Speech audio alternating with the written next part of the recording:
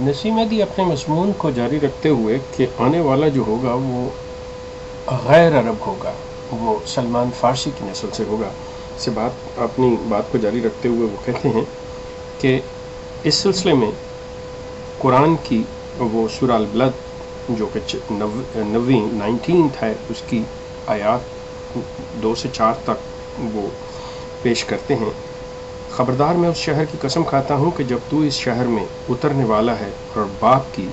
जो उसने औलाद पैदा की। यहाँ फरमा रहे हैं कि यहाँ शहर से मुराद मक्का है और हज़रत सल्लल्लाहु वसल्लम जब तेरह साल के, अपनी हिजरत के बाद दोबारा मक्का में तशरीफ़ लाए तो उसके साथ उनके जो वालिद और औलाद का ज़िक्र है, उसमें अव्वलन वो कहते हैं कि हज़रत इब्राहीम आसमाम हज़रत इस्माईल मुराद हैं जिन्होंने शहर मक्का की बुनियाद रखी थी। लेकिन अब आप अंदाज़ा कीजिए कि अब इसी चीज़ को जनाब ये मौलवी नसीम महदी किस चीज़ पर मुंतबिक और जमात अहमदिया जो है, ये इस्लाम की और पुरानी आयात की जो आयात हैं, उनकी तशरी और तफसीर किस रंग में फरमा रहे हैं, ये गौर कीजिएगा। लिखते हैं, चूँकि हज़रत मसीह मऊद आ हज़रत के मसील हैं, और आपका आना गोया आ हज़रत सल्लल्लाहु का आना है। जैसे कि मैं पहले बयान कर चुका हूँ कि इनके नज़दीक मिर्ज़ा गुलाम अहमद कादियानी जो हैं उनका दर्जा जो है, और वो जो हैं, वो आ हज़रत सल्लल्लाहु अलैहि ही हैं।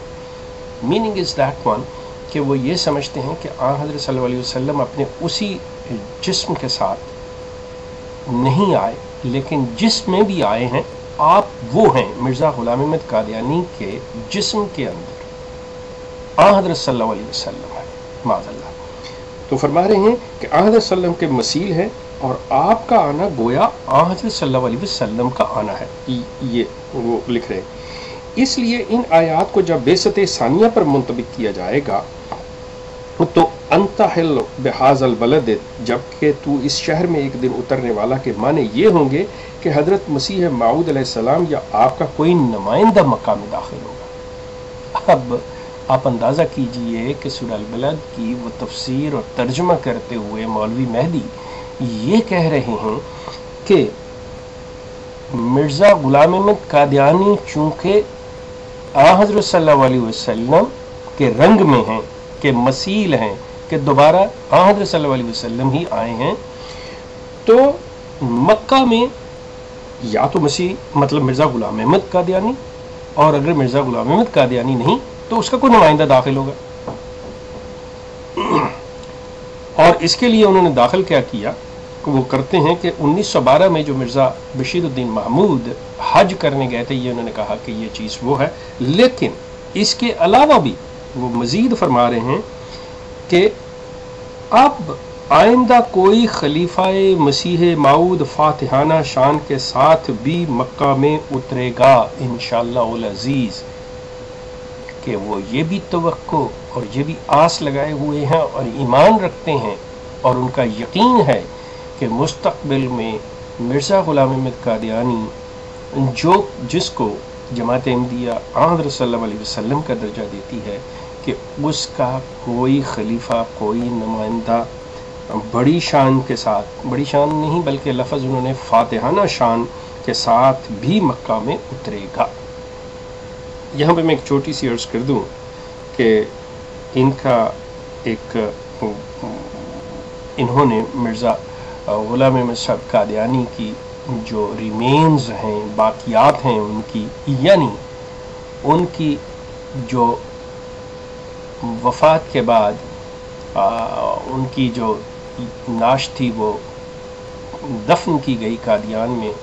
और वो उसके गल सड़ जाने के बाद जो उसकी हड्डियाँ बाकी रह गई थी रिमेंस थी उनको इन्होंने महफूज रखा हुआ है। वो इसलिए कि जब सैंतालीस में पाकिस्तान हिंदुस्तान बना था तो उस वक़्त मिर्ज़ा गुलाम में सब कादियानी की बकौल जमात के अकाबरीन के जिन्होंने बज़ात ख़ुद मतलब जो मिर्ज़ा ग़ुलाम कादियानी के ख़ानदान के लोग हैं, मेरी उनसे ज़ाती तौर पर बात हुई और मेरे साथ उन्होंने अपने एक इंटरव्यू में भी इसका इजहार किया हुआ है कि उस वक़्त इस डर और खौफ से कि ये शहर अगर हिंदुओं और सिखों के कब्ज़ा में चला जाता है, जो कि हकीकता उनके कब्ज़े में है तो फिर ये इनके लिए मुश्किल होगा। तो इन्होंने मिर्ज़ा ग़ुलाम अहमद कादियानी की कब्र खोद कर उनकी हड्डियाँ निकाल ली थीं और अपने पास महफूज रखी हुई हैं और आ हज़रत की उस हदीस को पूरा करने के लिए कि वो मसीह हज़रत ईसीम फिर उनकी कब्र में दफन होंगे को लिटरली साबित करने के लिए कि वो जब अब यहाँ पे गौर कीजिए इस मजमून के ऊपर, आप पढ़िए, आप कोशिश करके ये चीज़, मैं कोशिश करूँगा कि अगर किसी तरीके से ये मजमून स्कैन हो जाए हमारी साइट दी और के ऊपर, वरना जो कनेडियन लोग हैं, वो ये पढ़ सकते हैं कि वो कहते हैं कि अब आइंदा कोई खलीफा मसीह मऊद फ़ातहाना शान के साथ भी मक्का में उतरेगा। तो ये तमाम ये आसें, उम्मीदें लगाए बैठे हुए हैं, ये प्लान करके बैठे हुए हैं कि ये किस तरह होगा। खैर, मैं मजमून की तरफ़ वापस आता हूँ। कहते हैं, वालिद और माँ वालद से मुराद मसीह मऊद और आपकी औलाद है। औलाद में खसूसी तौर पर मुस्लिम मऊद यानी मिर्ज़ा बशीरुद्दीन महमूद, जिनकी पेश गोई के मुस्लिम मऊद है। अब ये एक मुस्लिम मऊद का एक नया शोशा जो मिर्ज़ा ग़ुलाम अहमद कादियानी ने छोड़ा था, वो ये था कि जैसे इस्लाम के अंदर ये तस्वर पाया जाता है कि मसीह मऊद का तस्वर इस्लाम के अंदर। इस्लाम में नहीं कहना चाहिए, मुसलमानों के अंदर ये एक तस्वर एक हल्का में बाज़ सारे मुसलमान इस चीज़ को, इस तस्वर को नहीं मानते। लेकिन वो जो इस तस्वर के कायल हैं कि हज़रत ईसा जो जिन्हें प्रॉमिस्ड मसाया कि मसीह मऊद दोबारा आएँगे, ये इन्होंने अपनी जमात, अपने मज़हब अहमदियत के अंदर उसको मुस्लिम मऊद के नाम से इंट्रोड्यूस करवाया। ये पैरल चल रही है। अहमदियत जो है, ये वो मज़हब है जो इस्लाम के पैरल चल रहा है। अब आगे चल के लिखते हैं, ये इसी मजमून के साथ मिर्ज़ा बशीरुद्दीन महमूद के के मिर्ज़ा गुलाम अहमद साहब कादियानी चूँकि हज़रत इब्राहीम के भी ये सानी हुए, क्योंकि इन्हें इब्राहिम सानी कहते हैं कहते हैं कि ये हज़रत इब्राहीम। तो सूर अलबलद से मुराद इनकी के जो बाप और बेटे ने हज़रत इब्राहीम और हज़रत इसमाइल ने मक्का की बुनियाद रखी तो उसको ये कहते हैं कि ये मिर्ज़ा ग़ुलाम अहमद जो हैं, वो वालिद हैं, उनके बेटे मिर्ज़ा बशीरुद्दीन महमूद जो दूसरे खलीफा थे, वो उनके उस सूरा अलबलद के मुताबिक उस पेश गोई, ये उसको कहते हैं कि उसके मुताबिक मिर्ज़ा बशीरुद्दीन महमूद जो हैं, वो औलाद में से हैं। आगे आप चलिए, आगे चल के अपने मजमून में इसी तरह वो मिर्ज़ा ग़ुलाम अहमद कादियानी के नाम के तेरह सौ हरूफ पूरे करते हैं, जिसमें वो ये साबित करने की कोशिश कर रहे हैं कि तेरहवीं सदी के के आखिर में मसीह का जहूर होगा तो उस वहाँ पे ये मिर्ज़ा ग़ुलाम अहमद कादियानी के नाम को ये सिर्फ़ ग़ुलाम अहमद कादियानी रखते हैं। यहाँ से अब वो मिर्ज़ा का लफज हटा देते हैं। और ग़ुलाम अहमद कादियानी के तेरह सौ हरूफ अगर आप,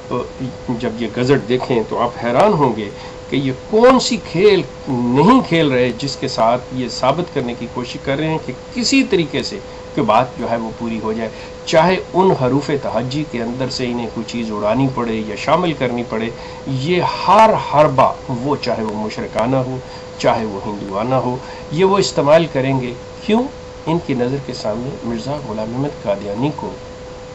हाँ हज़रत सल्लल्लाहु वसल्लम की बेसत सानिया साबित करना है। आप आगे चलिए। उससे आगे ये इसी चीज़ को बयान करते हुए कि उनको मिर्ज़ा साहब को एक इल्हाम होता है